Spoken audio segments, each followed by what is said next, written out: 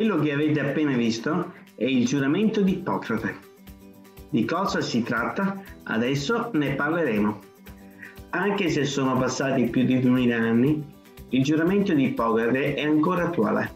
È un impegno che assumono i nuovi medici nel momento in cui intraprendono la professione medica.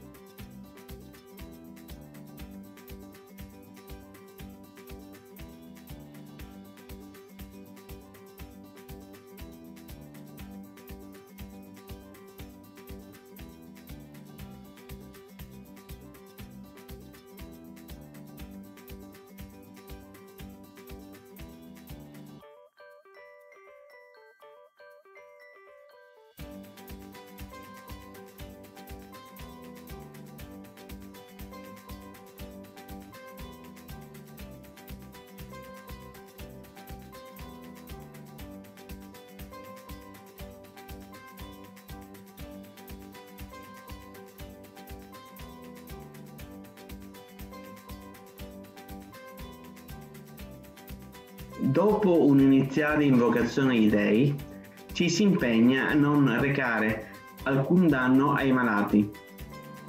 Al contrario, a cercare di dare a loro dei benefici. Oggi chi decide di svolgere la professione medica continua a fare il giuramento di Ippocrate, con un testo naturalmente riadattato